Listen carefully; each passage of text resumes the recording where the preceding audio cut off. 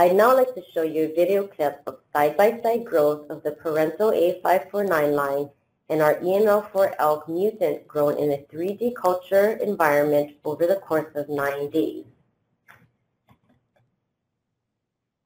The parental line is shown in the left clip and the EML4 isogenic line on the right.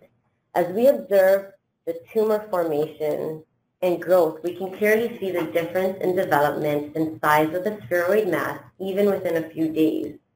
The ALK mutant line grows much more aggressively than the parental in 3D culture environment. As you recall the growth curves shown in the previous slide, in 2D culture, these cell lines grow in a more consistent manner to one another than what we are observing here in a 3D culture environment. This demonstrates the relevance of exploring the behavior and response of cancer cell lines in the 3D microenvironment for in vitro cell-based assays such as drug efficacy and toxicology screening for cancer therapeutics.